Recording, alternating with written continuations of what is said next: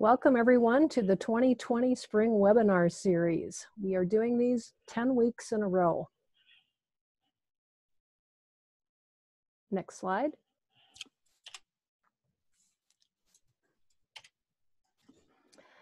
On February 12th, the speaker is Don Kinzler, Growing Flowers for Fun or Profit, and the 19th, Tom Kalb, Growing Tomatoes in North Dakota.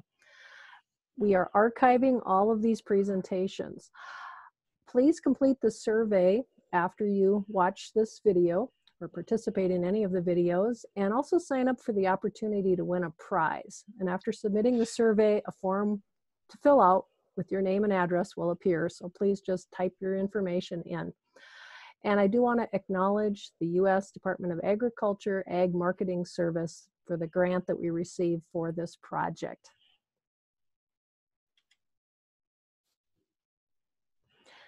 So I'm happy to introduce Mr. Randy Nelson. He is an extension educator in Clay County. His primary job responsibilities include education and outreach in the area of home horticulture and agriculture production systems. And he has been with the University of Minnesota Extension, Clay County since 2007. So welcome Randy and thank you for doing this. Thank you, Dr. Garden Robinson, and welcome everyone. Today we're going to go through and we'll talk about seed starting at home with an emphasis on starting vegetables. And some of the areas that I want to cover include containers, potting soil, light, watering and fertilizing, seed starting dates, and then we'll wrap everything up with hardening off your seedlings when it comes to containers, there are really uh, limitless possibilities. Basically, you're only limited by your imagination. Uh, two things to keep in mind when it comes with two containers. They need drainage, meaning that even if the container doesn't have any holes in it, you can always make some holes in there to allow all that excess water to drain out. And you want to make sure that the container that you're going to use is going to be large enough to support your plant meaning that you want adequate space for a root system and also that potting soil uh, that you're going to have in there um, needs to be supportive enough to keep that plant upright. And again, that's going to play into the size of the container. A small container and a large plant, uh, they get pretty tipsy. So keep that in mind. And also, your containers don't have to be overly large because you are um, going to be transplanting these plants outside. So they're only going to be inside for a, uh, a certain number of days. Uh, with that in mind, I'd like to talk about repurposed containers first, or recycled containers, however you'd like to look at it. Uh, the photo on the on the left of your screen, you're actually looking at uh, some onion seedlings being grown in gallon milk containers. And the milk containers were, um, the top portion was cut off. So this bottom portion is maybe three, four inches in height. And uh, the soil was put in there, and then the seeds were put in there, and uh, the onions were being grown uh, right in there. Obviously, with a milk carton, they don't come with holes in the bottom. And uh, with these, all I did was just um, cut in some holes with a knife uh, in the bottom. And then I'm using aluminum foil uh, just on the bottom. And after I water these, I water them in a sink, allow all the excess water to go through. And then I just put the aluminum foil over the bottom. That way, if you happen to have a little bit of water remaining, it's not going to uh, make a mess on the floor. Another example of a repurposed or recycled container uh, is the one right here, which is a uh, cardboard egg carton. And egg cartons work fine. Uh, obviously, there are styrofoam egg cartons as well. Um, when you think about cardboard egg cartons, obviously, when these get wet, uh, they're going to be pretty flexible and not very sturdy.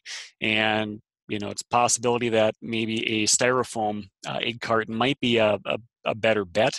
Uh, if you'd like to go with cardboard, I would always have these on some type of a, uh, a hard surface, like maybe a, uh, a baking uh, sheet or something like that, that you can pick up and move easily after you're uh, done watering.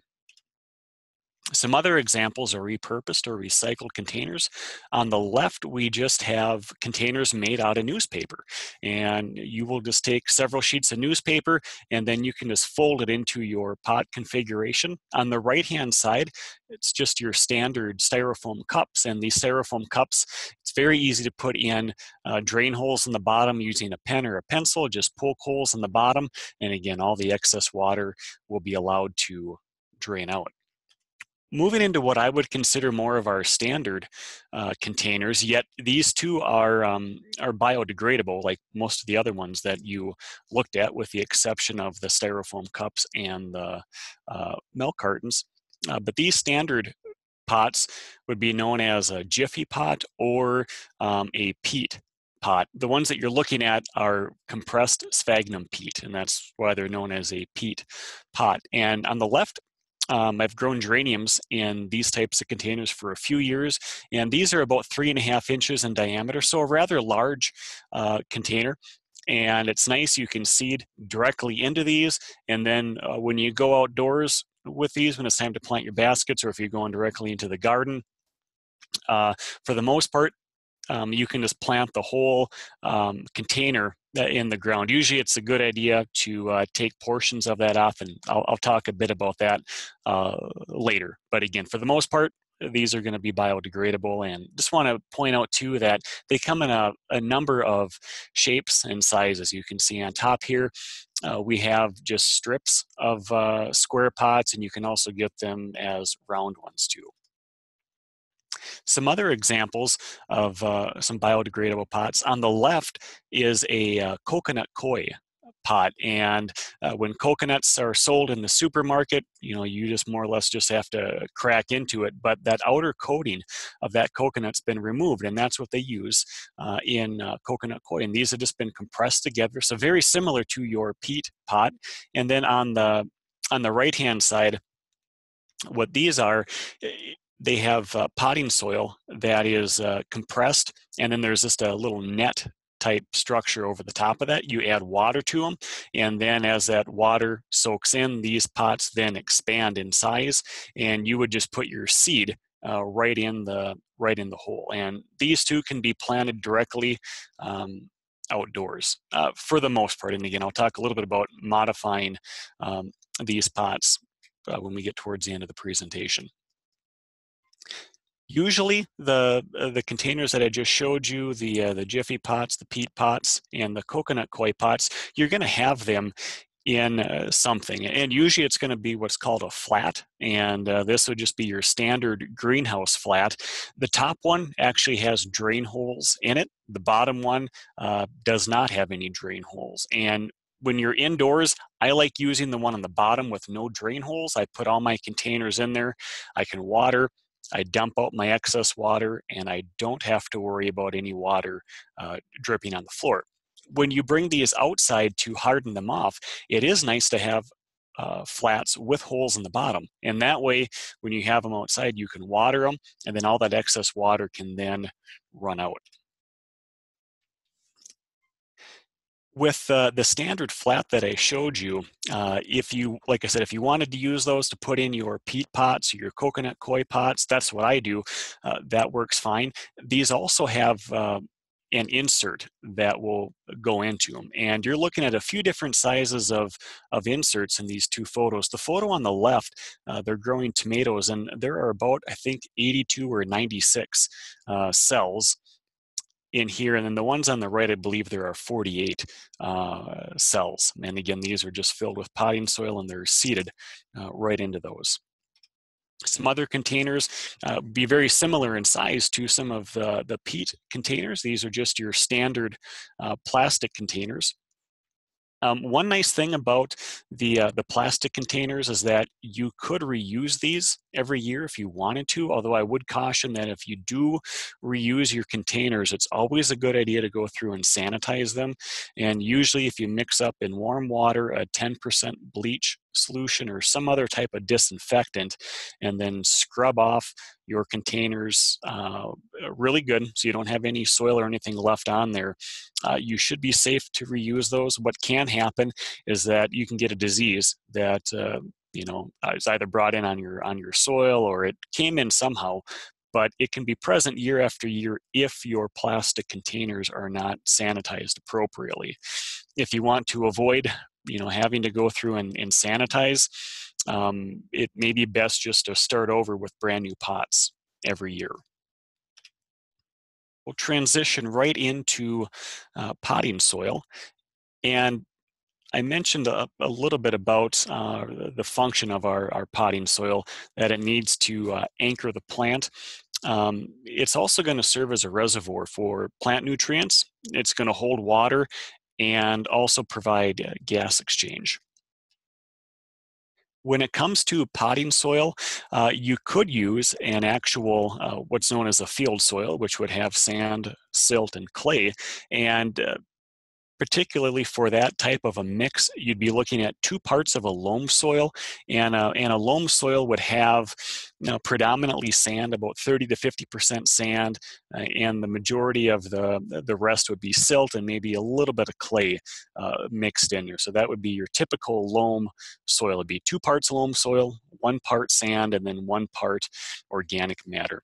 The one drawback of any soil-based uh, type of potting soil is that you never know if you have any disease that is present in that particular soil.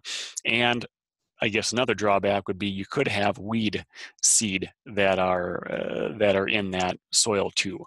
Uh, and I guess the other drawback would be not everybody has access to a loam soil. It depends on where you're located in the state. If you don't want to mess around with trying to mix up your own, there are a number of uh, what are known as soil-less mixes on the market that, that you can use. And a soil-less mix basically doesn't have what we would think of in a typical field soil, which again would be your sand, silt, and clay. Usually these are predominantly peat moss, and uh, peat moss is nice. It holds up to 60% of its volume in water. It is slow to decompose and uh, typically brown in color and it'll be on um, the more acid side of the pH scale. So somewhere right around a three or four. Sometimes you'll have vermiculite in these mixes and vermiculite is a good water it's a good water holding material. Uh, it also provides some aeration and I'm going to show you a picture of uh, vermiculite it, it does provide aeration, but if it's compressed when it is wet, uh, the aeration for the most part goes away. And then perlite, uh, which is a expanded volcanic rock, this one will provide aeration. These are, it almost looks like uh, little bits of uh, white uh, styrofoam, and they're rather hard too, so they don't compress as much as what vermiculite would. The photo on the top left is a very fine uh, peat moss, and you can get peat moss in, in various um, uh, grades, and it's sometimes they're graded on uh, how coarse or how fine they are. And again, this one would be a very fine one, which would provide really good seed to soil contact. The photo on the right on the left-hand side of this photo, we have vermiculite, which is, when you look at it, it, it it's kind of like a worm-like uh, structure or an accordion-like structure. And like I said, when it's wet, you can compress this stuff really easy. And then on the, on the right-hand side, we have our, our standard vermiculite, uh, which again, kind of looks like uh, pellets of chopped up styrofoam. And I also want to show you some coconut coir. This is some ground up coconut coir, and, and more and more often you're seeing coconut coir uh, in mixes, and it, it's being used to replace uh, sphagnum peat moss to some extent in, in some of the mixes, and it seems to do a pretty decent job uh, in, in, a soil mix. So again, these are the general components that you're going to find in a soilless mix as far as the process of filling your containers, it's pretty straightforward.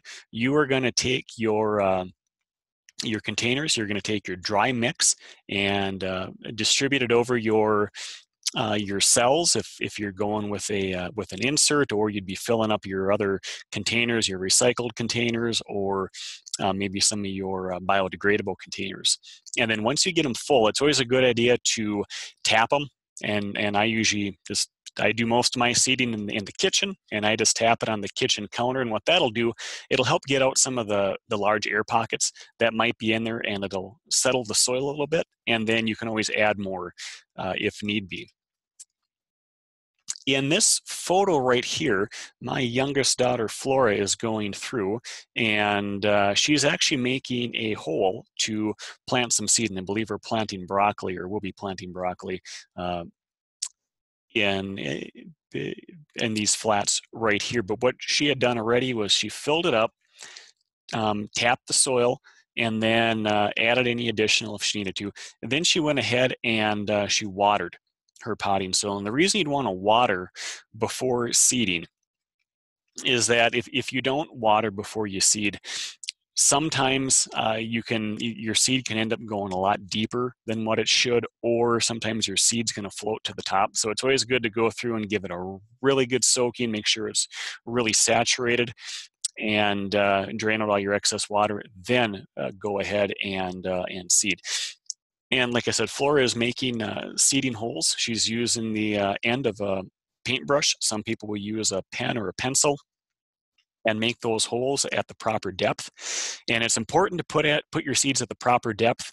We'll be talking about light coming up in a little bit, but uh, some of these seeds are pretty small. Uh, for example, uh, these pots in the back are, are three and a half inch um, peat pots, and there are petunias that are in there. Petunia seed is very tiny, and you don't want to go very deep um, because those plants, um, those small seeds can only push so far. There's only so much energy in that seed to be able to push up and allow those cotyledons to be exposed to light and then start to be able to photosynthesize.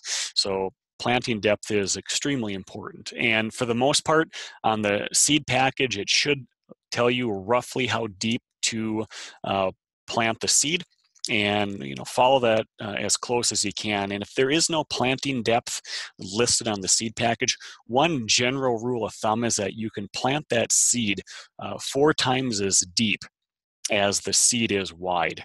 And another way to look at that is that you'd have that seed planted deep enough so you could stack another three seeds on top of it and then you'd be level uh, with the soil.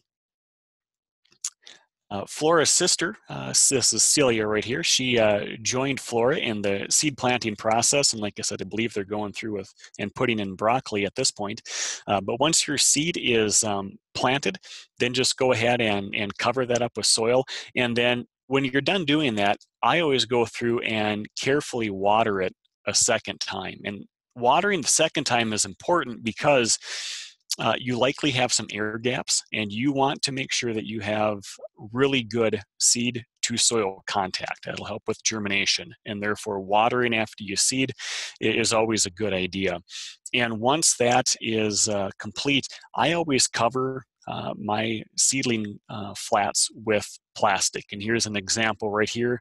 I just use a, uh, a plastic covering and I lay it loosely over the top. And this will do a couple of things. The main thing that I use it for is that it keeps moisture in. It's not a, a, tight seal over it by any means, but it does keep quite a bit of moisture in, and that way that surface is not drying out as much, and it's going to remain moist until those uh, seeds begin the germination process. The second thing it'll do uh, you'll likely be putting these under uh, some type of uh, a light, which we'll be talking about in just a minute here. Uh, but it does tend to warm uh, your containers because if you have a light source, um, that light energy is moving through and it, it will heat up that soil to some extent and that plastic cover on there will keep in some of that heat. So you'll notice a, a little increase uh, in temperature, which for the most part is going to help with the germination process. I had uh, referenced light earlier when we were talking about seeding depth and, and just a little background here. You probably all familiar with this already the, the equation for photosynthesis and basically uh, carbon dioxide and water and then with light energy will result in uh, essentially sugar and the byproduct of course is going to be uh, oxygen. And that uh, sugar that is produced during photosynthesis that plant is going to use for maintenance and growth and I want to uh, just show you a graph here. And really what I want you to pay attention to uh, is this uh, green area right here is probably the most, uh, most important part. As you look at this, uh, or this figure, this blue dashed line is basically showing you the amount of photosynthate or the, the sugar that's produced during photosynthesis that's used in respiration. And again, plants need to maintain themselves just like we do, and therefore they need to use so much of that uh, photosynthate is going to be used just for uh, respiration or, or um, maintenance.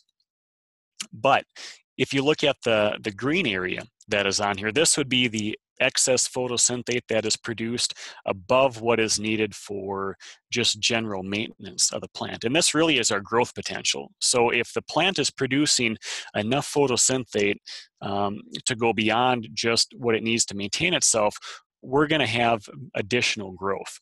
Another way to look at this is that plants growing in, in low light conditions, they can maintain themselves uh, possibly in that situation, but they're likely not going to be putting on uh, much growth at all. And since our seedlings are going to be destined for outdoors at some point in time, we want to make sure that they have plenty of time for, or that they have plenty of light to be able to produce enough photosynthate so they can go ahead and uh, grow properly so they look good for outdoors.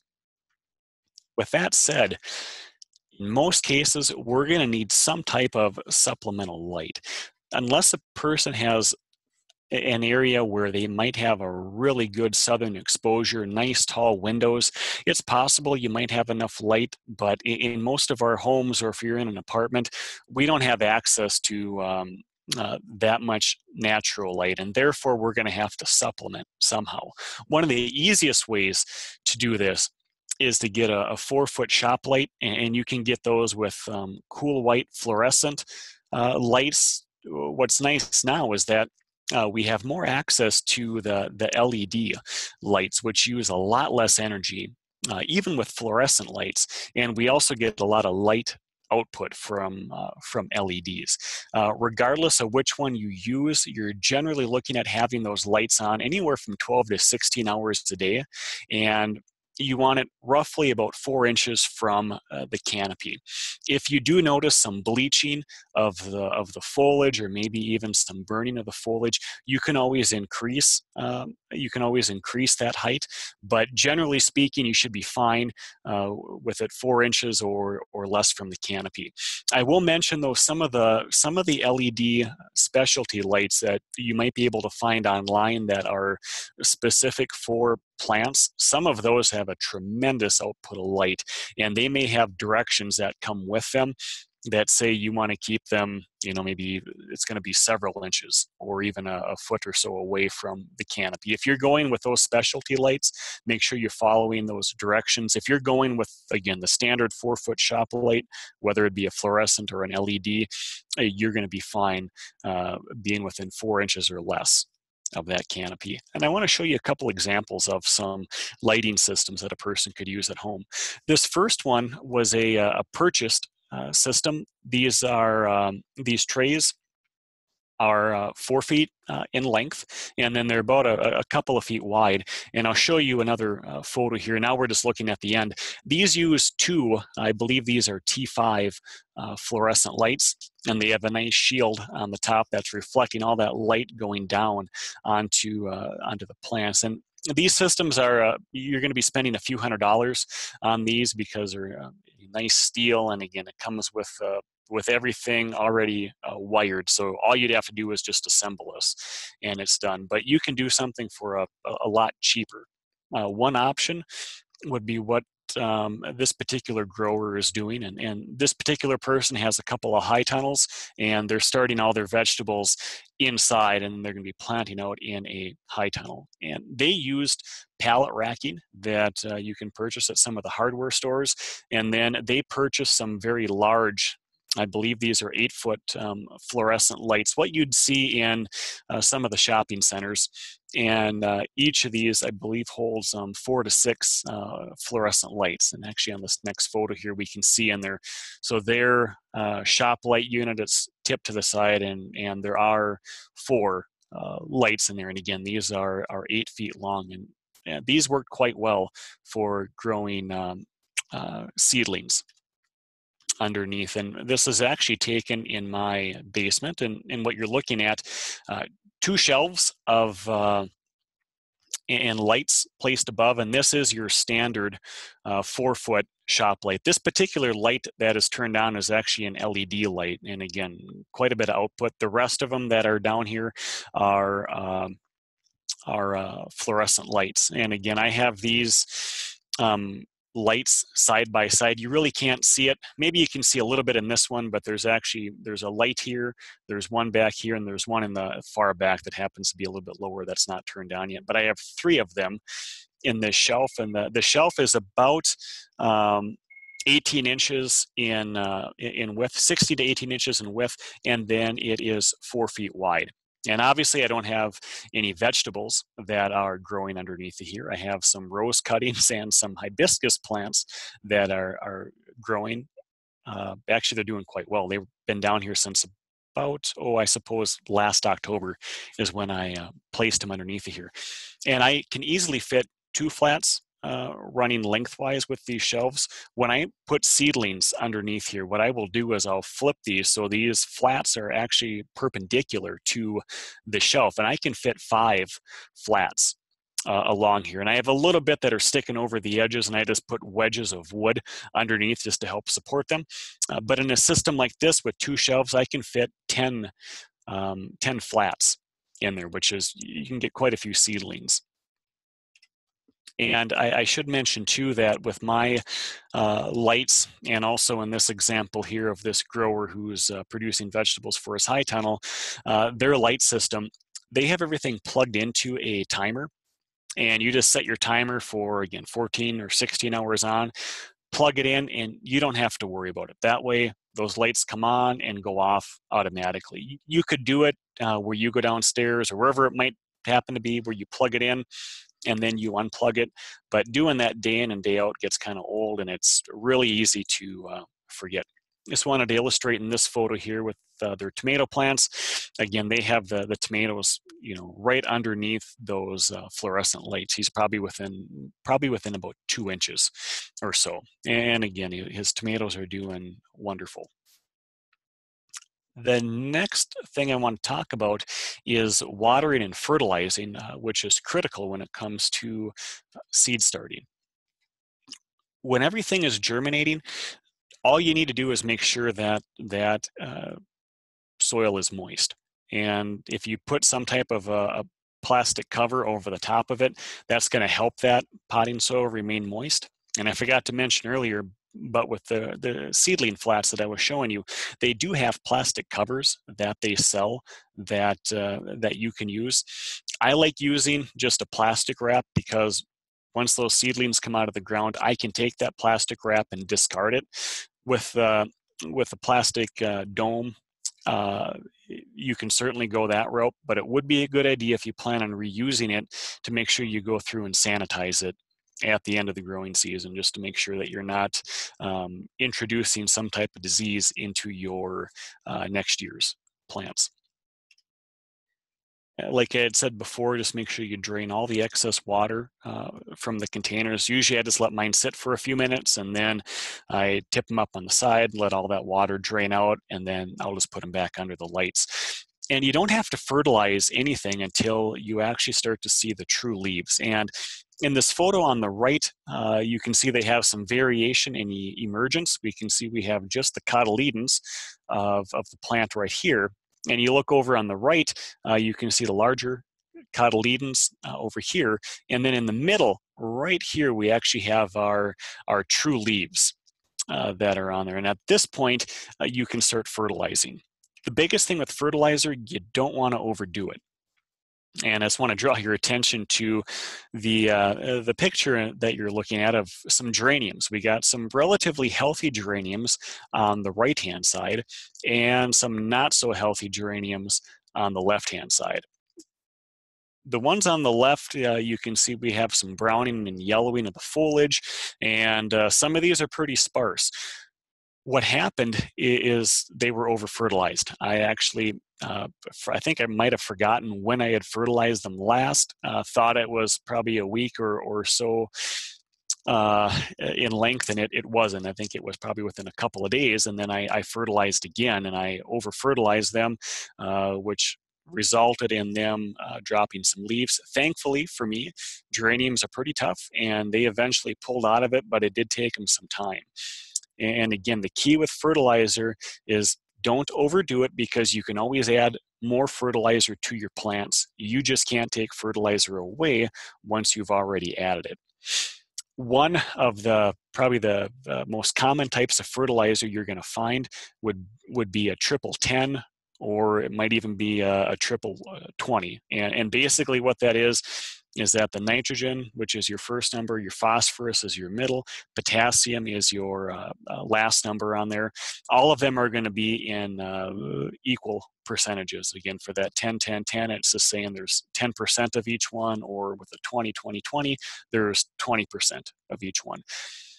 And just make sure it's a water soluble fertilizer. That way you can just mix it and it dissolves readily in water. Then you can go ahead and water your plants if there are guidelines on the back of the container for seedlings, go ahead and follow those.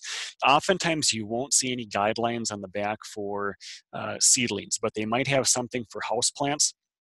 And just use it at half strength if you're using the uh, the house plant um, recommendation, whatever it's suggesting. Just cut that in half, and then you can go ahead and fertilize. And, and like I said, you can go ahead and fertilize weekly, and then when you're watering or the plants need water between fertilizer applications, just make sure you water enough that you do get some of that water that drains out of the bottom of the pot to make sure that you're flushing out uh, any potential soluble salts that could be in there.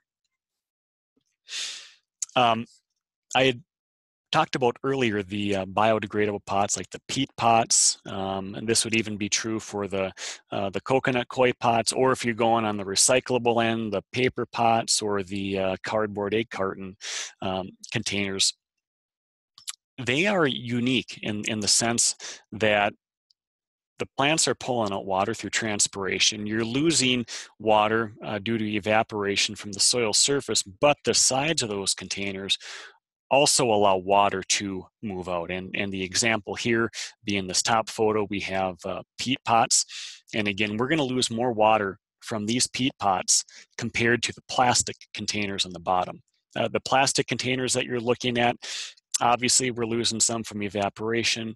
The plants are transpiring, but that plastic container is not allowing any water to uh, move out. And what that means is that you may end up watering some of the biodegradable pots more frequently than you will those that are, are made of plastic as far as the type of water you want to use, that's a, a, real common question.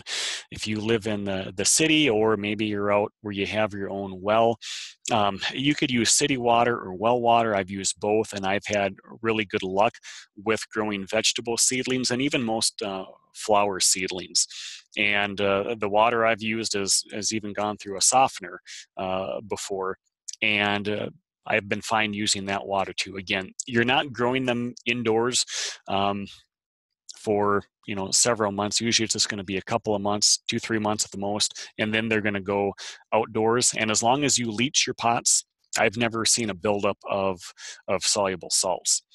Another option, if you want to, if you have the the time and the ability, uh, you can actually take snow uh, put it into a five gallon pail or a container of your choice, allow that to melt and uh, warm up to room temperature, and you can use that water to uh, water your seedlings uh, if you'd like to. My my grandmother did that for a number of years, and uh, her plants turned out fine. But like I said, if you don't want to go that route, um, go ahead. You should be fine using your your city water or or even your well water. Um, want to talk a little bit about uh, seed starting dates. And this is important because you want to make sure that you have enough time to uh, allow those seedlings to get large enough to safely move them outdoors. At the same time, you don't want to start them too early where they just become uh, essentially root bound and stunted in those containers with vegetables, the earliest one, or another way to look at it, the one that would need the longest amount of time to grow would be uh, seed onion. And uh, these onions would be the ones that you're starting by seed, and then you're taking those transplants and putting them outdoors. If anybody's ever purchased onion transplants, uh, they were at some point started by seed, and uh, essentially that's what you're doing. You're just doing that indoors they need roughly about 14 weeks of, of growth indoors. So you're looking at about early February for a um, for a start time.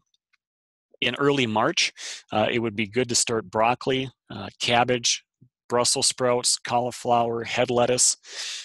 And then looking at mid-March, um, pepper, eggplant, and kohlrabi. Not everybody starts their kohlrabi inside. I know a lot of people will direct seed it. I've had real good luck starting kohlrabi, again, roughly about mid-March, and then we get an early crop of that um, uh, in the summer uh, since we're starting those a bit earlier. Uh, tomato, roughly right around um, mid-April. Um, pepper is a little bit slower than tomato, and that's why we're starting our peppers about um, mid-March. And again, tomatoes tend to grow pretty fast. Uh, so we're looking at, at mid-April. And then if you do start your cucumber, cantaloupe, uh, winter squash, if you do start those indoors, usually it's about a, a month or say four weeks of uh, growing time before you're transplanting those. Uh, outside. Not everybody will start their cucumbers and cantaloupes inside. Some I know will just direct seed it. What I found in particular with both cucumber and cantaloupe is that I gain about three or four weeks um, of, of time by starting them indoors. My first uh, picking of the, the fruit is about three to four weeks earlier when I start them indoors compared with just direct seeding those uh, outside. When it comes to hardening off the seedlings, uh, this is very important because you've just spent a number of weeks and uh, quite a bit of time into growing beautiful transplants. And if you harden them off improperly, it is very easy to kill them. Uh, think about it this way: They're, these these plants have been indoors, um, very little wind, um, no direct sunlight, and now all of a sudden they're going to be transitioned outdoors where you have intense sun, you have wind. Uh, that can be devastating if it's if it's done improperly. Uh, to start out with, you want to put your seedlings in the shade and ideally just do it for an hour or two, maybe for the first couple of days, and just slowly uh, increase the amount of time that they spend outdoors as well as the sun exposure. And it's really going to be important to have them in a protected area where they're not going to have a lot of wind damage. Uh, because again, these are, are pretty sensitive plants, and if you get a lot of wind, it can snap them off uh, really easy. So again, put them out in the shade in a protected area and then slowly start to build up the amount of time that they're outside as well as um, keep putting them or keep increasing the amount of sun exposure they're going to have. And over time, uh, they're going to build up some tolerance to the wind too. So uh, at some point, they'll be able to withstand our wind.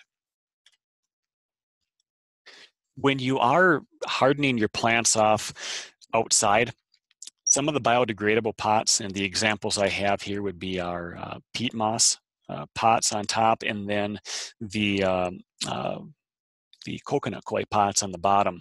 Again, these are losing water not only through transpiration, but also uh, through soil evaporation and then through the sidewalls of those containers.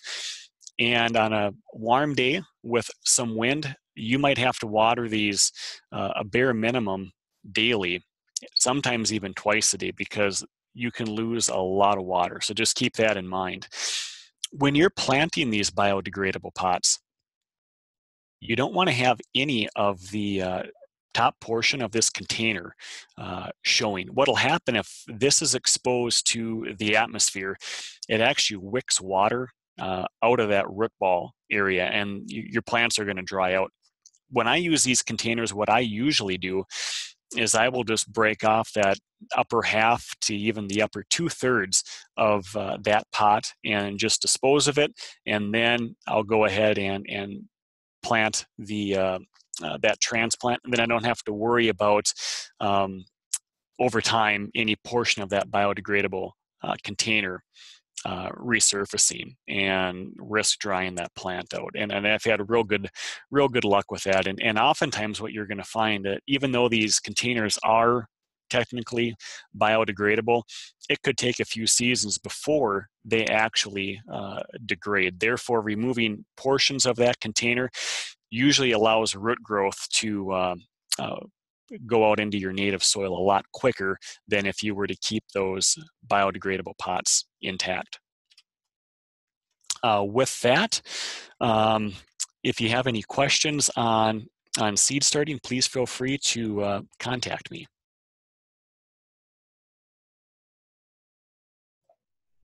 Well, thank you very much, Randy, for that interesting webinar. And I invite all of the listeners to check out the Field to Fork website because we have links to some of the University of Minnesota publications as well as NDSU. So thank you, Randy, and thanks everybody for watching. Thank you, Julie.